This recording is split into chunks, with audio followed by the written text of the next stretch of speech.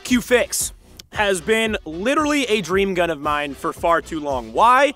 Because everything aesthetic about it speaks to my soul. And I have finally gotten one, so I'm going to make a video on it and that's how it's gonna be. Because this is my channel, and you can't tell me how to live my life. Sorry for being so aggressive. Came out really strong. Let's get into the fix video. Uh, no joke, I have wanted a Q-Fix for so long.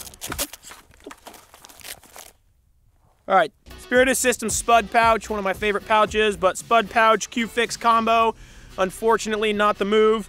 Uh, there's too many bells and whistles. The first sponsor of this channel is Optics Planet. Optics Planet is offering you a 7% discount with the coupon code MICAH7, counteracting that 7% inflation that the government is lying to us about. The second sponsor of this channel is Shooting Surplus. Shooting Surplus actually um, is probably where you would a Q fix. Uh, so if your fancy is tickled or you're something else, then go to Shooting Surplus and use use uh use the coupon code Micah7 as well. Third sponsor of this channel, Americana Pipe Dream. Go get yourself some Milsurp. Some of my favorite people. They actually are my favorite people. I love them. They love you.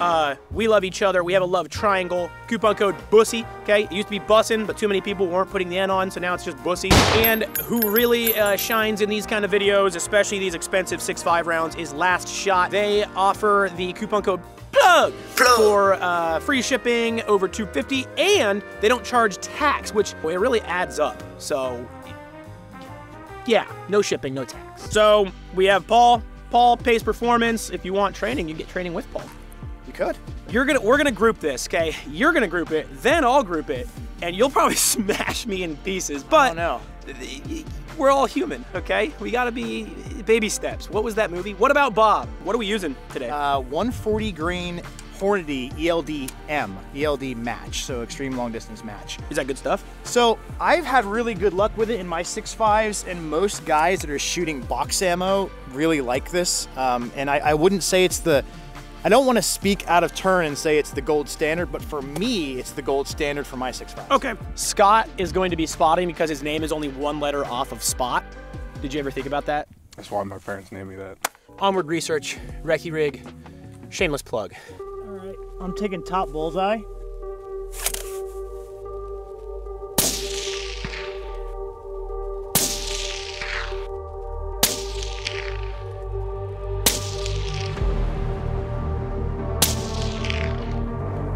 Paul just finished his first five round group. Uh, this is your first time ever with experience on a Q rifle, correct? Yeah, I really never shot one before. Um, um, you feel confident? Yeah, yeah. Well, then let's go check it out. Compared to like a custom gun, it's got a really, it's got a pretty custom feel to it. The bolt lift is a little heavy, but that makes sense. Wow. Yo, these four just yeah. cash, dude. What, what, what would we say that is? Like, uh, so, I mean, generally, since each one of these squares is, is one inch. This always makes me so sad because realistically, that is like a half MOA group. Not yeah. even. That is like that's like a, that's like that's, a half MOA group. That's tight. That's a good group. That's tight. With a one flyer, I mean, you could um, you could say most guys are going to say, hey, five rounds is good, but most most shooters are looking for that kind of data are going to go 10, 15, 20 round groupings with their bolt guns to get more of a consistent idea of how the gun's shooting. Right. But something like that happening, I mean, if we were to group it again, um, uh, I felt really confident in each shot. So, well, then there's only one thing to do. You're gonna have to shoot it. Yeah, we're gonna do it again. Let's do it. I'm gonna be honest. I'm so happy that it did good because I love the fix so much from an aesthetic standpoint. Now that I know it's like pretty accurate, probably more accurate than me. I'm pretty stoked, so I'm gonna try and group it. All right, now let's see if I can do it. I know the gun can, but uh, I'm just gonna embarrass myself in front of everybody. On target.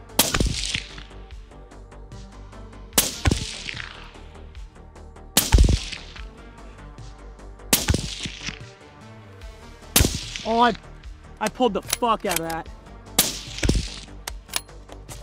I feel feel pretty good, but I know it feels so bad to be on, feel like you're on a roll and then just, you know you flubbed that one. so I didn't do very good. I don't know, that's pretty good to me. Are you kidding me? What? It could be worse. Wait, why is there six? You had a flyer, so we made up for it. Yeah, you you, uh, you, uh, you oh. called the flyer, so we had you send another one. I'm not I'm not like upset, but This is why I had you group it, because I wouldn't have done it justice. I, listen, man. Here's the thing: the average person behind this gun, most of mm-hmm. your most of your higher level bolt guns are gonna outshoot the shooter. Yeah. But like, as far as that goes, it's your first grouping with it. Right. Like, literally, you said you had 100 rounds through it. This is your first time grouping it, so like that can always improve. That's why we shoot. I could see why bolt gun like and precision shooters get addicted because now I have this like adrenaline flow of like, nah, dude, I could totally. Yeah, shoot I gotta do better. I can do better. Like, Yep. I know I could do better than that, but like sub MOA group, so I'm actually kind of bummed out with myself. But oh well. Why don't we have you shoot it again? All right. As I totally know why Paul did better, it was because I was wearing a rig and he wasn't. Right, Paul? Uh, totally. Oh, you want the bag like this, hand in that valley, and as you squeeze, that gun comes up. As you let go, gun Makes comes those down. tiny, tiny little adjustments. So when you push into it with your shoulder, if I want the gun to come up, or if I want the reticle to go down, squeeze.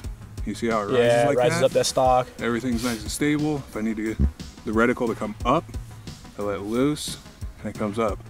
Once I'm on target, keep that tension. A lot of people, when they break the trigger, everything goes loose. Make sure to keep that tension all the way through your trigger break, and that'll give you a nice solid shot. Let's do it.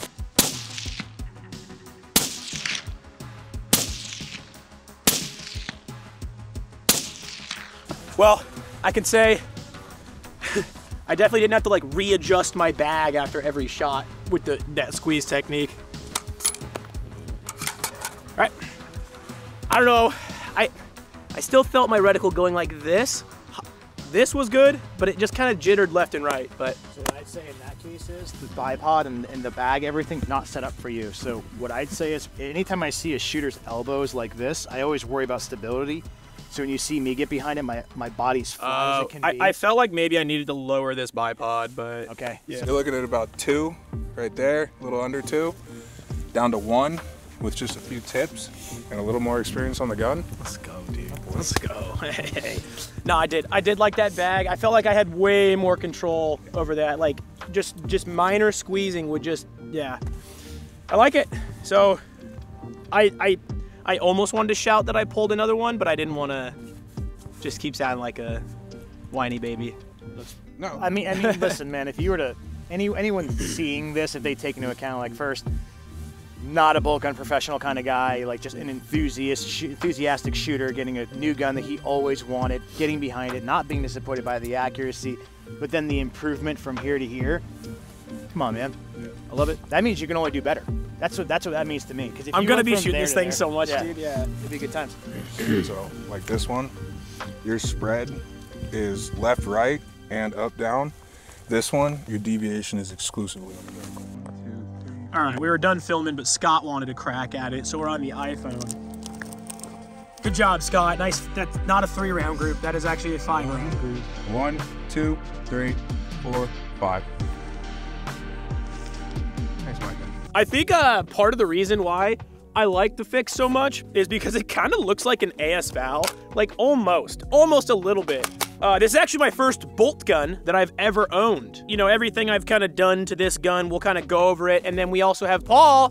Paul, what the, what are you doing? What are you doing in your car? Hey. Now, I like to hang out with people a little bit smarter than myself, so that way I don't sound dumb. Paul is a phenomenal shooter. Like, this dude just, like, showed me how to set the scope and everything up, and then all of a sudden he's like, all right, 372 yards, like a really weird specific number. He's like, okay, just dial it up to two mils. And then I, I made a first round 372 yard impact with it. So we have Paul here to bring some some knowledge transfer to you guys because I'm incapable of that. Now, one of the burning questions I had was how accurate is this rifle? I love it. I love the aesthetics. It's it's not a normal action. It's not an action like your your your typical bolt guns. You know what I mean? This is its own almost AR patterned action. You have AR safeties, kind of AR mags. Like how many bolt guns just have a one piece receiver Like Many that I've seen. yeah, so anyway, it's a super interesting rifle. And whether you find it interesting or not, I do. Sorry, I'm coming out aggressive again. Like, I, got, I gotta calm down. All right, so I'm gonna give you guys some info on my particular Q-Fix. You can't argue that the Q-Fix is an aesthetic gun. Clear ano here, the grays, all this kind of stuff. So I kind of went a little autism on it and I uh, reached out to Big Tex Ordnance. I have to thank them because this is a limited edition clear ano mount just to match the clear ano bolts in the back, and they did hook me up with that, so thank you, Big Tex. This is the Element Theos. My boy Kevin over there gave me this thing, hooked it up. Awesome scope. Uh, why did I put this specific scope on there? Because it's gray. I, I, I, if you can't see that I just went for aesthetics on this, then, then yeah, I mean, I, I really kind of just went for aesthetics on this thing.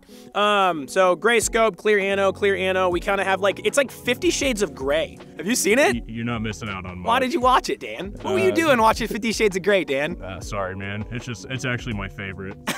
Down at, at the front here, we have the Liberty Precision Anthem S. This is probably my favorite suppressor that I have out of the repertoire. I use it on my 300 Black. I use it on some of my ARs. I use it now on the 6.5, and I can shoot this thing pretty comfortably with no ear protection, although I do not recommend it. This is Paul's bipod, uh, and to be honest with you, Paul, you're kind of throwing, you're kind of killing my vibe with the green. Sorry about the green, it sucks. I guess there's just some some closing thoughts to talk about what I like, what I didn't like, because there are some things that I didn't like.